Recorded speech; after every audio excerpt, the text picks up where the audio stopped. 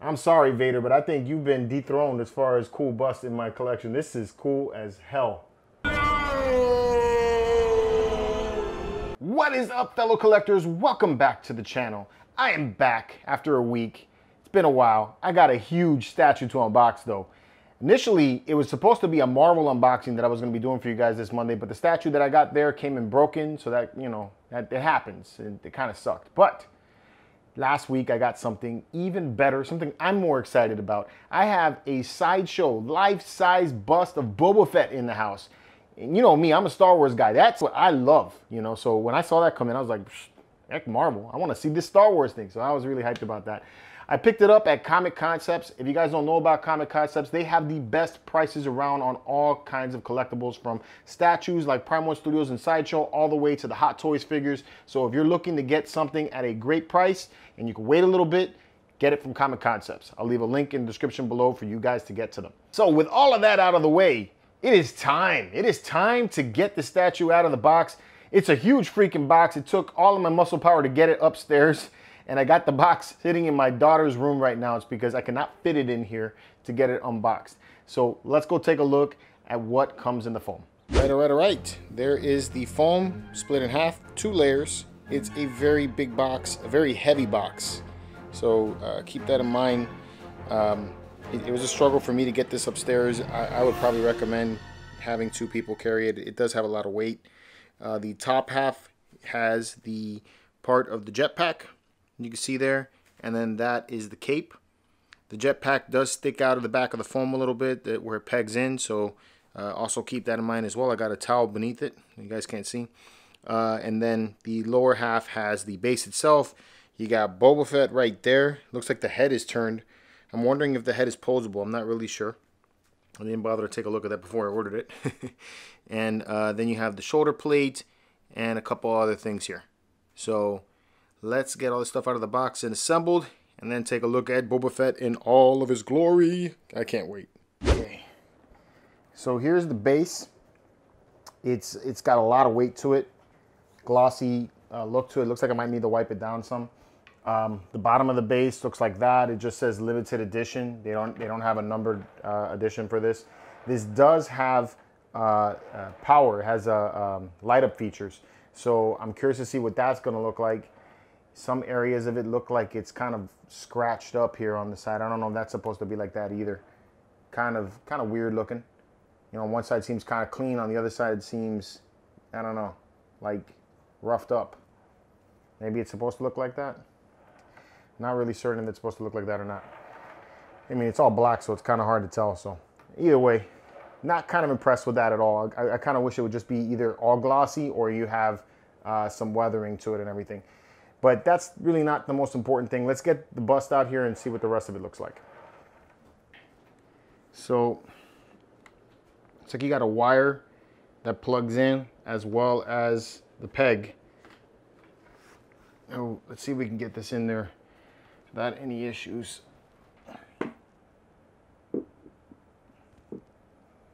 Probably should plug it in before I, I, I peg them up.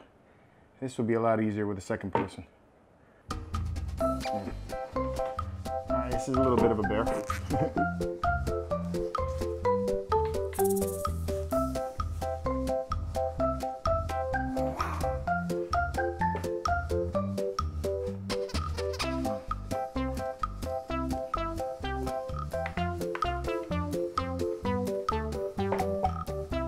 Much later that the old narrator got tired of waiting and they had to hire a new one. All right, I got it in there. Um, you know, I know things go wrong at times, and that that that happens. Happens to me a lot with sideshow stuff, but it happens. And uh, this one here had a fight to get into the peg. There's a peg that sticks way out, and you have to plug a wire right into there and then the body goes into to place. The problem I had was that the hole that it's supposed to plug into, it was too wide for the, or the, the, the peg was too wide for the hole that it's got to go into. So from the looks of it, there was all kinds of like, um, like crud or something up in the, in, in the hole itself. and it was causing it to wobble. I'll leave a little video here that I, that I did to give to Sideshow, let them know what went down. I ended up having to take and put a file to it on the inside, put WD-40 on the actual shaft itself, and then finally it was able to slide in after almost 35 minutes of sanding. So that really sours the unboxing experience for me. Um, you know, I'm just, I'm really bugged out with, with that. You know, when you're spending this kind of money on something, I really want stuff to, to actually be handled correctly and fit, you know, all the QC issues being taken care of. So my experience is easy because now I got all kinds of dust all over the place in here, all on my phone, on my hands, on my arms. I'm gonna have to take a bath after I, after I uh, unbox this piece, which, you know, it's a normal thing. I gotta take a bath, but still, you know, you know, I shouldn't have to do that because I'm unboxing a statue.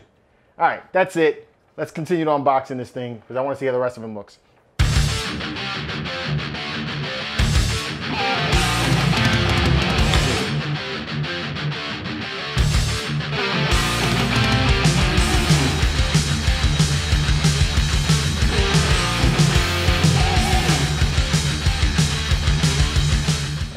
Option to either have the, the cape or not have the cape.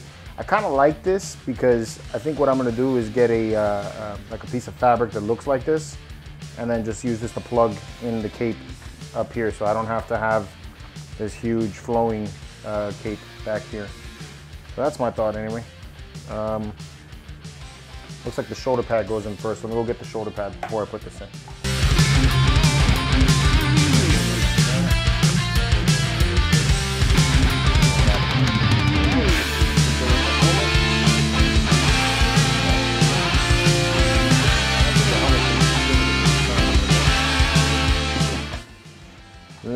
Is cool. Damn. Dude, that is that is cool. Wow. Just check that out, man. This is super, super freaking dope. All right, I gotta see the light up features. Let's see what the light up features can do. One super cool thing that I wanna mention though, they gave you a long wire with the plug, so that's cool. Good job there. Let's check this thing out. Oh, that's dope, that light. That's cool. And then you have a light way back here. That one's harder to see.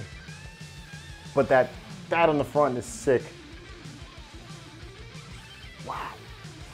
That is cool. I kind of wish this would have lit up. That would have been dope. I mean, it's going in the base would have been, I don't know how much harder that would have been to make this light up. But that uh, light up feature on the chest and the digital display readout, that is cool as hell, man. Yeah, this is this is a sick bust. Lots of detail on it. I'm sorry, Vader, but I think you've been dethroned as far as cool bust in my collection. This is cool as hell. this is so dope. More moments later. All right, so I'm back here to talk a little bit about the uh, Boba Fett bust. This thing is super awesome. I mean, it's really, really cool. When I look at it, I totally feel like I got the badass bounty hunter in my collection. I mean, it is it is freaking wild how cool this thing looks. I, had I have the Hasbro life-size helmet there, but it does not compare to this. This is cool. All right. Um, assembly, at least for me, sucked. You know, because that that shaft didn't fit correctly into the hole of the of the uh, actual body. So that I you know you may not experience that, but if you do, you're gonna need a, a, pretty small file and you're gonna be able to go in there and you're gonna have to sand down the hole to be able to get the peg inside. Otherwise, you can wait for Sideshow to, to send you out a new bus, which this thing is already delayed heavily. So I don't know how much longer you wanna wait. There's no number edition on this one. That kind of bites. I wish that, you know, when, when you make something this expensive, that they would uh, make it a, a numbered edition, you know, because, you know, it makes, makes me feel better when I see a number on it. I don't know why. uh, I like all of the weathering that they threw on this. It looks realistic, you know, like it's got all kinds of scuffs and damages all around it and everything that looks pretty dope. Um, you know, I like that you have a lot of weathering in the back. I'm gonna unplug the cable here for a little bit, you know, turn the light up features in a little bit so you can get a spin around here. It doesn't have a full jetpack on the back, but this is how it looks from the rear. It does have a considerable amount of weight to it, so keep that in mind. It's, it is a very heavy bust. This guy with the visor up there is 30 inches tall, a little over 30 inches tall. You got about 27 to 28 inches if you decide to display it with the cape in width.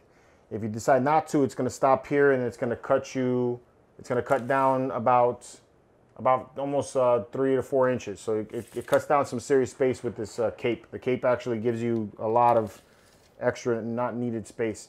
Uh, the cape brings you all the way back to 23 inches in depth. So you're gonna need that kind of space if you wanna display it with this cape the way it sits. Now, um, I don't know why they didn't go with a mixed media cape. That's something that, I mean, I'm, i both like and dislike. This looks really, really cool. Uh, I wish they would have thrown in a mixed media cape, you know, just in case you didn't have space for this, just because I certainly don't have enough space to go this kind of depth.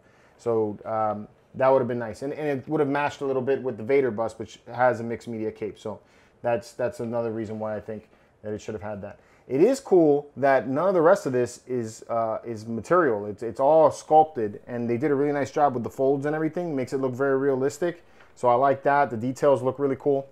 The best thing is these light up features. I like that you have a battery option and you also have a plug-in option. And I like that they gave you a long enough cable for you to be able to put this in, in an area and then have the cable, you know, feed back behind your display because I'm gonna need to do that. Um, absolutely wanna have this on some kind of smart plug so that when I turn on all my lights, it comes on with it because that little display here on the chest is so cool. I just love how that looks. It looks really, really dope. Um, the helmet is movable, you know, so you could take the helmet off and you could turn it and all that. So you can get, you know, a little bit more of a display option than you could with, uh, with Vader uh, which is cool. I don't know that you want to do that or not because the head is actually turned in this direction the way I have it. So this is the way that I'm going to display it. It actually works out for me. But if you're, you know, you want to take and have the, the helmet aimed in another direction, you can turn the helmet, you know, and, get, and give you that option to display it, you know, looking more forward if you wanted to have it forward, you know, or whatnot, you know, whatever it is that you, whatever it is you want to do. And then you have an articulating visor which also has a light up feature, but I don't know what kind of battery that takes. Um, it doesn't say in the instructions what battery that takes either. So I'm gonna have to guess or contact Sideshow and find out what goes in there. The Wookiee hairs here is a nice touch. It, it, has, this is mixed media. Probably the only thing that is mixed media on this is the Wookiee hairs. Overall, man, this is a dope bust. I really like the way this looks, regardless of my experience with the unboxing you know, artistic wise and the look of it, I think it's fantastic and they did a great job for it. I think if you're a big Boba Fett fan, if you're a Star Wars fan, this is a must have, you know, in the collection room. This is cool. I like this a lot. Uh, so I can't wait to get this in display. My plan is to put it right back here so that every time I walk in the room, I'm flanked by two awesome Star Wars busts. So that's my thoughts anyway. Let me know in the comments below what you guys think about this one right here. Do you like it? Are you getting it? Are you waiting for it? I know it's been delayed pretty good. Let me know what you think. Which bus do you like best from Star Wars? Let me know in the comments below. And until next time, keep it marvelous and may the force be with you.